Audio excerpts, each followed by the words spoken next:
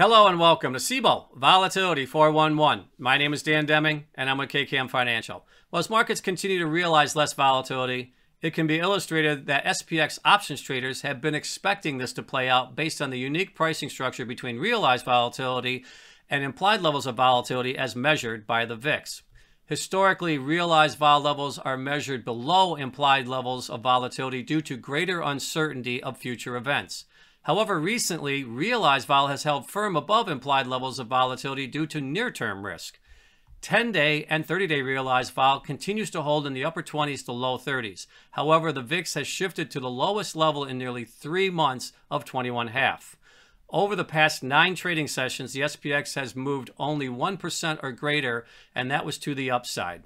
Expect short dated realized vol to drop precipitously in the coming days. This dynamic, coupled with a fairly tight range of the SPX over the past nine sessions, will organically reduce demand for options along the vol curve.